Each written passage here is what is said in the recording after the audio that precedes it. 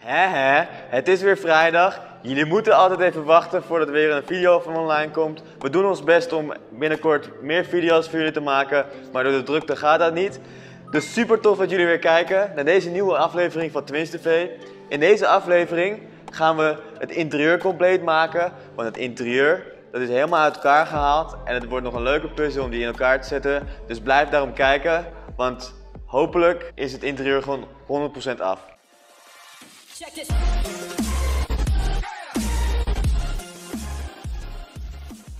Zoals ik net vertelde, gaan we dus in deze aflevering het interieur helemaal compleet maken. Maar voordat we daarmee gaan beginnen, wil ik vertellen, want het zou jullie vast niet ontgaan zijn, dat het wiel hier mist. Dit wiel, dat hebben we weggebracht eh, om het te laten richten. Hè? Want dat wiel, dat was zo krom, had een mega hoogteslag. Dus dat wiel, dat wordt nu gemaakt en het is nog steeds voordeliger dan een gebruikt wiel kopen. Dus hopelijk krijgen we een recht wiel terug. Ja, zoals ik net vertelde, het interieur hè. Het interieur gaan we in deze aflevering aanpakken. En hij is dus helemaal gestript, niets door ons. Overal missen er eh, panelen, panelen, hier ook op de deur. En overal liggen ook gewoon verspreid kapjes en, en dingetjes. Ook hebben we een paar dozen binnen gehad. Dus ehm, ik denk dat we eigenlijk alles even moeten uitstallen. En dat we dan eh, de dozen open gaan maken. En dat we dan weten wat we allemaal in huis hebben. En dan kunnen we lekker aan de slag. En eh, ja, de schroefjes erbij zoeken, hè. Want ja, overal ligt van alles. Dus eh, laten we even alle onderdelen er snel uithalen. Ik denk dat we even een kleedje uitgooien. Want ja, het zijn dure Porsche onderdelen. En dan kunnen we even aan jullie laten zien hoeveel onderdelen nog geplaatst moeten worden. En zo kunnen wij zelf ook zien wat er nog in moet. Let's do this!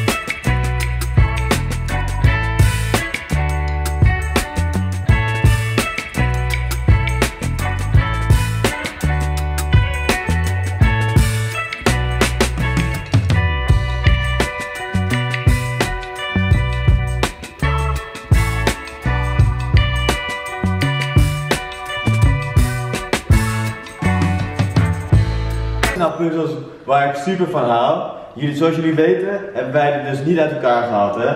Dat heeft iemand anders gedaan en nu mogen wij het in elkaar gaan zetten. Dus dat is een leuke uitdaging. Eh, maar het lijkt wel een heel interieur hè, van een Porsche dat hier even ligt. Niet normaal, echt. Zoveel kapdelen liggen er gewoon los. Ik ben ook benieuwd, kijk, ik zie hier een uh. Dus ik denk niet dat dit bij het interieur hoort. Maar dit hebben we ook uit het interieur gehaald. Nee, dat is het gescheurde kabelband van rechts vooraan. Ja? Ja, want die was afgescheurd tijdens die ongeluk. Oké. Dus die moeten we nog uiteindelijk gaan, eh, ja, opnieuw gaan solderen, et cetera. Kijken of alle stekkers nog goed zijn. Dus die kunnen we eigenlijk aan de kant zetten, waardoor het stapeltje iets kleiner wordt. En ik zie eigenlijk nog een ingepakt onderdeel. Volgens mij is dit iets van een koplampsteun. Oké. Want bij een Porsche klik je namelijk de koplamp, die druk je er eigenlijk in. En dan klikt die vast. Dus die hebben we niet nodig, dat scheelt al een beetje. Nou, ik denk dat we eventjes de pakketjes moeten uitpakken die binnen zijn gekomen. Want misschien zit er al wat vervanging in wat hier tussen ligt. Dus dan kunnen we dat misschien ook al weghalen. Ook hebben wij dit allemaal niet zo besteld. Nee, dus dat is ook wel weer leuk. Ik moet zeggen, dit maakt het wel wat ingewikkelder het hele proces. Als je het allemaal niet zelf hebt gedaan. Hey, deurklipjes. Nou, dat is gaaf. Die hebben we in ieder geval binnen. Dus de deurpaneel kan erop. Top. Wat is dit? Oh, lekker ingepakt hoor. Dan weet je wel dat er iets duurs in zit. Kan niet anders. hey, ik weet wat het is. Ik ook. Dit zit eh, achter je stuur. Hoe heet dit ook weer? Je klokspringmodule, zegt ze toch wel eens? Dus daar zit eigenlijk je airbag stekkers aan vast, et cetera. En die wilt wel eens stuk gaan tijdens een ongeluk. Oké. Ehm, ik denk dat we dit niet meteen gaan vervangen. Denk je? We moeten even kijken of het echt nodig is. Ja, want het is namelijk best wel veel werk om zoiets te vervangen. En als het niet stuk is, ja, waarom zou je het dan gaan vervangen? We hebben hier een lichtschakelaar van een Porsche. Ja? Deze helemaal in stukjes gebroken, kijk. Oh ja. Dus dat is wel logisch dat we een nieuwe hebben.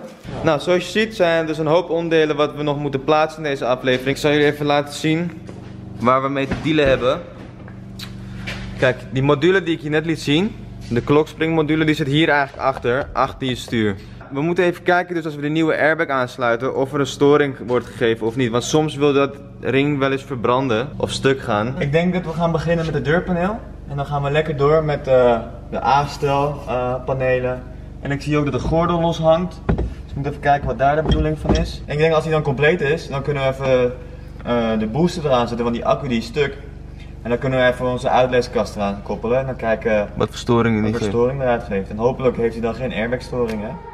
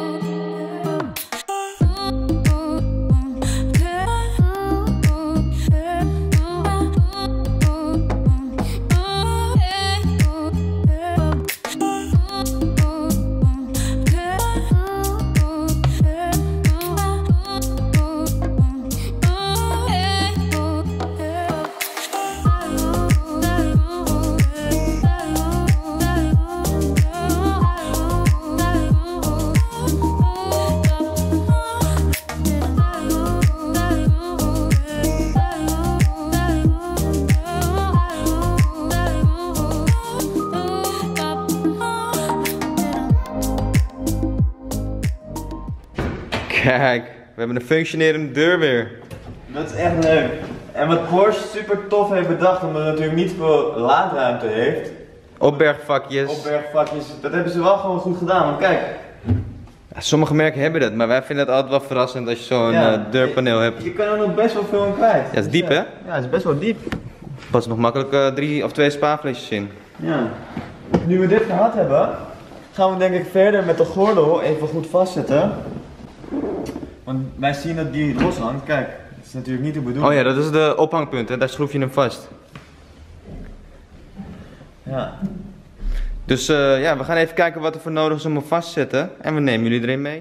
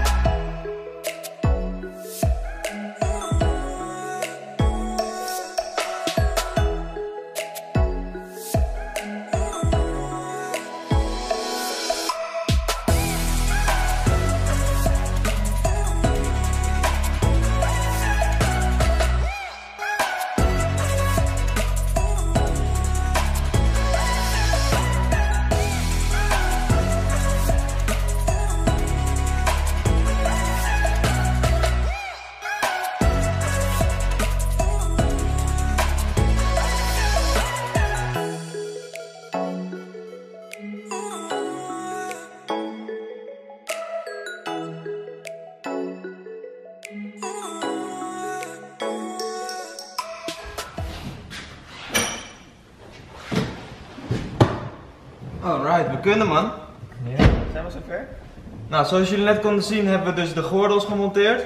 Ook hebben we die hele lange A-stijl binnenbeplating van de, van de deuren eigenlijk geplaatst. En hebben we eigenlijk tot hier en naar achter alles afgerond. Hoe zit je achterin? Ja, ik moet zeggen, het zit niet zo comfortabel als, als dat je denkt dat een Porsche zit. Nee, achterin eh, hoor je ook niet te zitten. Er horen eigenlijk alleen maar kinderzitjes eigenlijk, toch? Eh, zoals je kan zien is die hele pookgedeelte nog eh, open. Dat komt omdat hij moest het helemaal uit elkaar halen om bij het dashboard te komen. Dus ehm, dat gaan we uiteraard zo meteen weer in elkaar zetten. Ik zit echt voor geen meter man. Zullen we eruit gaan? Ja, ik zit echt voor geen meter. Oké, let's do it. Dan kunnen we ook lekker verder gaan. Genoeg gezeten.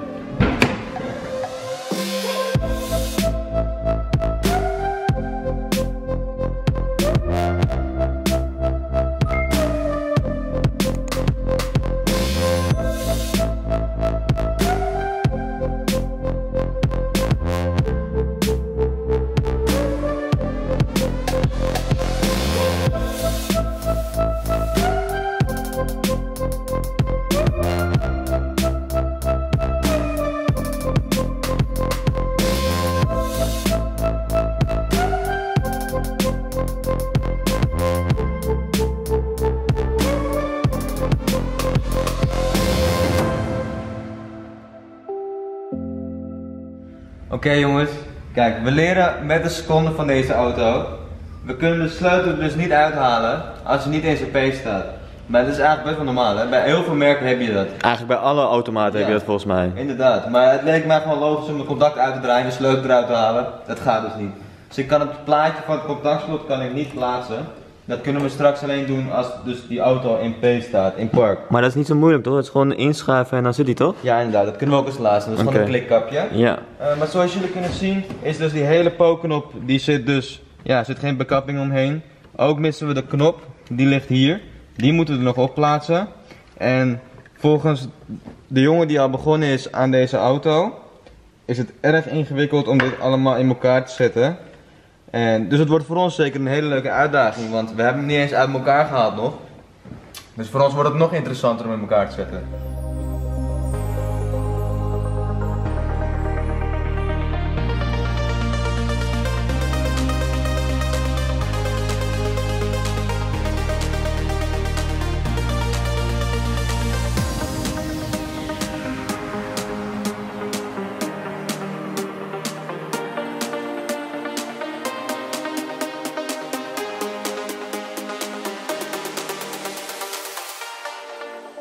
De middenconsole zit op zijn plek.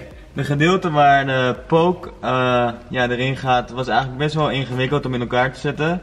Maar eh, ja, het wees allemaal zichzelf wel een beetje. Maar het was best wel ingewikkeld. We moesten een beetje YouTube erbij gebruiken. Ook YouTube is onze goede vriend uiteraard. Ik zet even de booster voor je aan. Kan je even laten zien dat hij nu naar zijn P gaat? Kijk eens. Kijk, alles gaat aan. Dik, hè? Super nice. Ik heb wel een airbag storing. Maar dat is niet gek hè, ik heb nog geen airbag. Even kijken. Kijk. Super strak. Oh, Contact aan. wil eens mijn contact aanzetten. Oh, ik moet wat tanken zie ik. Oké. Achteruit. Wat doet het? Doet het ook hè? Ja, doe het ook. Super. Nou, dit hebben we goed in elkaar gezet. Kan je je spoilertje dicht doen aan de achterkant? Heb je daar een knop voor? Ik heb er een knop voor. Voor de spoiler. Ja, zullen we even kijken of die werkt? Ja. Neem jij hem mee naar buiten? Ja. ik ga even drukken of hij dicht gaat, ja? Ja. Ja. Ja. Hij, hij blijft nog een beetje open. Druk hem eens nog een keer. Ik moet hem invloed houden, man. Druk hem eens in. Ja, doe hem eens open. Ja. Ik kan zelf bepalen hoe hoog ik hem wil hebben. Ja, hè? Ja, dus hij gaat helemaal open. En dan kan ik zelf bepalen op welke positie ik de spoiler achterop wil hebben. Maar waar is dat goed voor dan? Misschien Dat- voor de aerodynamica, voor de extra koeling. Want ja, hij pakt eigenlijk meer koelwind toch? Als je hem, hoe hoger je hem hebt, hoe meer wind hij vangt, dus hoe meer er in die eh, motor gaat achter. Ja. Oké, dik. Dat is wel echt grappig, dus ik kan het zelf... eh, Doe hem eens dicht. eh, het lampje gaat uit als hij dicht is. Ah, grappig. Dat is echt leuk, zo leren we echt veel van deze auto's. Die kunnen we nu plaatsen als het goed is. Kijk, nu kan ik dus Ja. de sleutel eruit halen. Logisch. Dat is wel logisch. Kapje erop zetten. Nou, die zit erin. Ja, het is alleen maar wel jammer dat het eh, een beetje Ja. beschadigd is hè, allemaal. Ja, is Door wel- gebruik. Die auto Ja. heeft ook 130.000 kilometer gereden. hè? Ja, klopt. Dus ik denk, laten we nog even dashboard airbag, of het dashboard, stuur airbag plaatsen. En dan kijken we of hij dus, ehm, dat module achter die stuur vervangen moet worden. Dus ik denk dat we nu de airbag erin gaan prikken. Nee, ik denk dat ik eerst even die booster uit ga doen. Oh ja, eerst de booster uit, airbag erin prikken, nog niet op zijn plek zetten. Maar dan gaan we hem uitlezen of alle storingen eruit zijn uit de airbag systeem. Mhm. En als dat goed is, dan verwacht ik eigenlijk dat het module achter die stuur ook gewoon goed is. En dan kunnen we de airbag erin klikken. Gewoon een kwestie van klikken. Nou jongens, zoals jullie kunnen zien, de airbag zit dus in het stuur door middel van een tapie. We hebben hem nog niet geklikt, want we hebben hem nooit uit elkaar gehaald. Dus we weten niet hoe je hem precies eruit haalt. Het zou niet zo ingewikkeld zijn. Het zou ons wel lukken, maar zo is het gewoon even een stuk makkelijker. Inderdaad. We gaan nu voor het eerst de booster weer aanzetten met de stuur airbag erin. Het is altijd even een spannend moment, want we doen het eigenlijk niet vaak. Dus ja, zo'n schadeherstel toch? Zo'n Ja. tweede schadeherstel, dus we vinden het altijd wel spannend. Dus ik ga de booster aanzetten. En, En eh, eh, hopelijk blijft hij zitten. Oké, ik ga... Ja. 3, 2, 1. Oké, dat is Nou, goed gegaan. Dat was even een spannend moment. Oké, nou, we gaan hem even contact aanzetten. Dan gaan we kijken of hij nog een airbag fout aangeeft.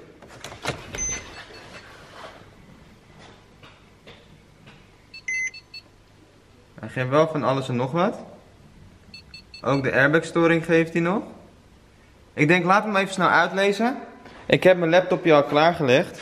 Dus even een doekje op het dak. Laptopje erbij. Eh, Ik ben benieuwd of hij nog een storing gaat geven. Ehm, het uitlezen is helaas niet gelukt. Hij zegt dat we niet in die module kunnen komen met onze uitleesprogramma. Ehm, voor als jullie vragen hebben over wat voor programma dit is, wij gebruiken Delphi. Maar wij komen er dus niet in, in het airbag systeem. Dat heeft dus misschien te maken met de software of met iets anders, dat weten we niet. Ja, speciale codering vanuit Porsche, ik weet het niet. Dat kan ook nog, dat we daarom er niet in komen.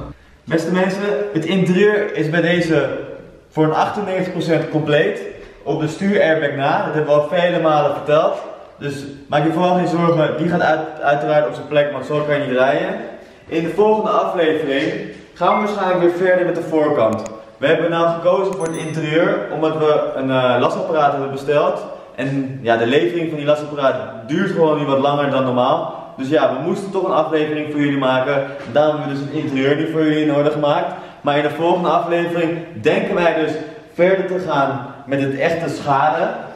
Ehm, Ja, want het, daar- de coolerpakket is afgescheurd, hè? ja, die is dus compleet afgescheurd. Dat hebben we ook verteld aan jullie. Dat is- Bij, eh, bij het afladen van de auto is dat gebeurd. Bij diegene thuis op de oprit.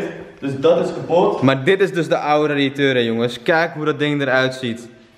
Dat kan je geen radiateur meer noemen, dat is gewoon oud Nee, ijzer. Zeker niet.